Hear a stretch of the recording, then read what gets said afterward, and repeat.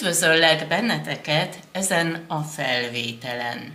Ez tulajdonképpen egy szerelmi jóslás, ahol feltesszük a kérdést, hogy mi van vele. Én úgy kérdezem, mintha ezt egy nő kérdezné, hogy mi van ezzel a férfival. A férfiak természetesen akkor másképp kell, hogy értelmezzék a kártyát. Ezt a jóslást én asztrológiailag építettem ki. Itt középen ez a kör jelenti a holdat, meg a napot, tehát az érzelmeit és a gondolatait. Először megnézzük, hogy mit érez. Bepillantunk az ő érzelmi világába. Itt ez az egér. Eltávolít valamit hiszen ott, ahol az egerek vannak, felfalnak valamit, és akkor az már nincs ott. Az egerek gyakran segítenek, hiszen el tudnak távolítani negatív érzelmeket, például bizonytalanságokat, vagy féltékenységet, de az egér néha azt jelenti különösen, amikor ez kihat az ő érzelmi világára, hogy fél attól, hogy az egerek szimbolikusan eltávolítanak téged, fél attól, hogy elveszít téged. Mi jelenik meg az ő gondolataiban? Itt a kutya látható. A kutya az jelentheti a házi állatokat is de szimbolizálja a barátságokat. Lehet, hogy lezárt bizonyos baráti kapcsolatokat, és az egerek eltüntetik ezeket a személyeket, de amit a kutya még jelent, ez a hűség, hogy fél attól, hogy te megismerkedsz valakivel, hűtlen leszel például, és elveszít téged. Itt látható Merkur bolygó szimbóluma, ami jelenti a kommunikációt kettőtök között, és milyen a beszélgetés. Itt a halak vannak, ami jelentheti az anyagiakat, vagy a munkáját, hiszen ez összefügg egymással. Tehát ő beszámol nyereményekről, vagy kiadásokról. Az is lehet, hogy segíteni akar neked anyagilag, vagy fordítva van így, hogy pénzt kér tőled.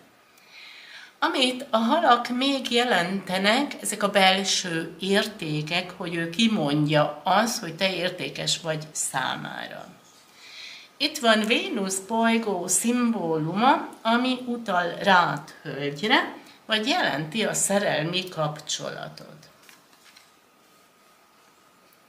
Itt a hajó van ami jelenti a reményt, hogy reménykedik abban, hogy mellette maradsz, meg szerencse lesz a szerelmi élet területén.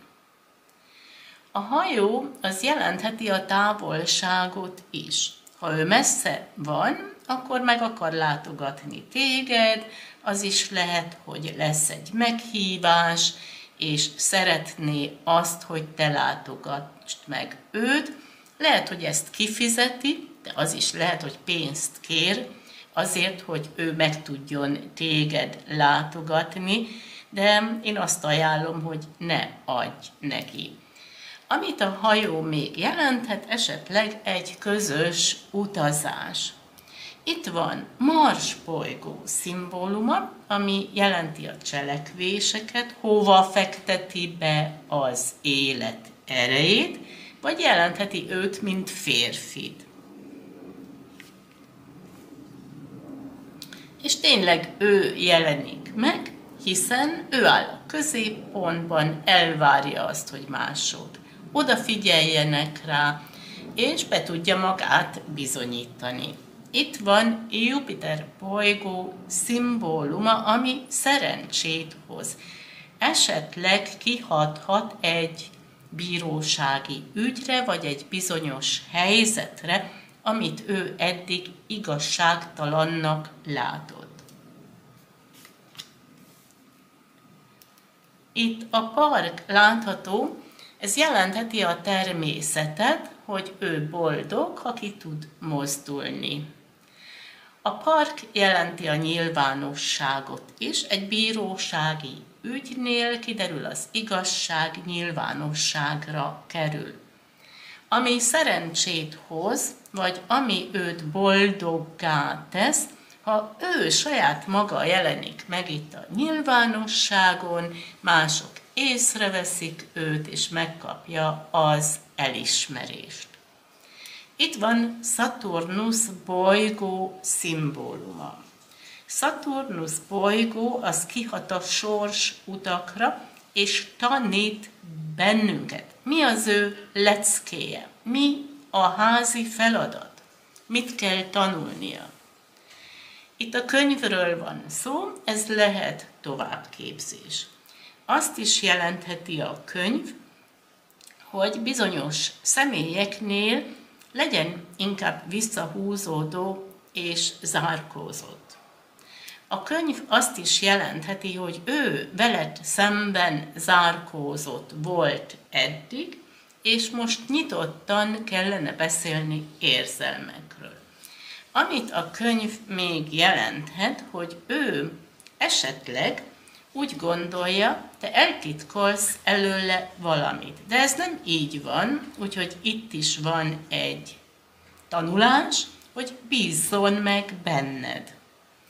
Itt van Uranus bolygó szimbóluma, ami jelenti a változásokat vagy meglepetéseket. Itt vannak a csillagok, ami szerencsét hoz. A két kártya együtt jelentheti a tanulást, például spirituális dolgokat. Lesz egy szerencsés fordulat. Itt van Neptun bolygó szimbóluma. Miről álmodozik? Mi az elképzelése? Ami kettőtöket illet, itt megjelenik a gyűrű, ez lehet egy házassági ajánlat, vagy hogy keresi veled a kapcsolatot. Más élet területen a gyűrű jelenthet bizonyos szerződéseket és itt van Plutó bolygó, szimbóluma, hatalom bolygója, de jelenti a belső erőt is, amikor biztos abban, igen, ezt el kell érnem, mi fontos számára. Ezek a változások, hiszen a gólyák jelentik a változásokat, valamit szeretne változtatni az életében, ez lehet munkahelyi változás, ez lehet költözködés, lehet, hogy megváltozik a külseje, vagy a hozzáállása. A gólya jelentheti néha egy kisbabának a születését is. Tehát ez, amit ő szeretne elérni.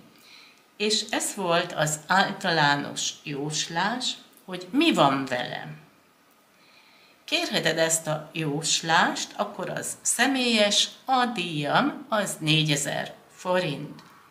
És amennyiben tetszett a videó, örülnék annak, ha lájkolnád, ha leírnád a véleményedet a kommentárba, vagy ha jelentkeznél a csatornámra, köszönöm szépen. És én kívánok egy szép napot, nagyon sok szeretettel, Dendera.